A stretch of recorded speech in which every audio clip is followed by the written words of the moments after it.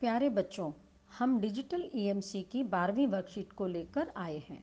पिछली वर्कशीट सहयोग के भाग एक में हमने अपने आसपास या हमारे साथ हो रहे कामों पर गौर करते हुए सहयोग के महत्व को जानने का प्रयास किया। आज की वर्कशीट में हम समझेंगे कि आसपास जो कुछ होता या नया बनता है, उसमें कई लोगों के सहयोग के साथ विविधता भी दिखाई देती है और प्रत्येक व्यक्ति की एक महत्वपूर्ण भूमिका होती है।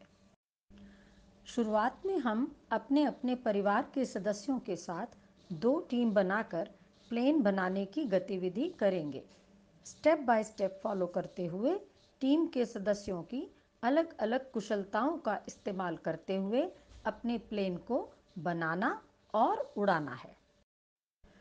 दूसरी गतिविधि में हम देखेंगे कि हमारे आसपास ही बहुत सी वस्तुएँ दिख जाएँगी जो लोगों के मिले जुले प्रयास से बनी हैं और हम तक पहुँची हैं।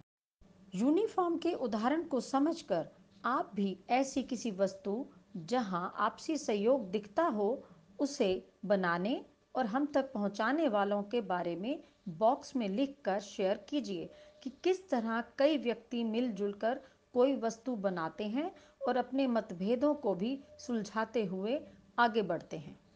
ये सब करके आपको बहुत मज़ा आने वाला है, ये बिल्कुल पक्का है। और हाँ पूरी की गई वर्कशीट की फ़ोटो या वर्कशीट को अपने टीचर को ज़रूर भेजिएगा। साथ ही साथ इंस्टाग्राम फेसबुक और व्हाट्सएप पर शेयर करना भूलिएगा नहीं। तो आइए शुरू करते हैं।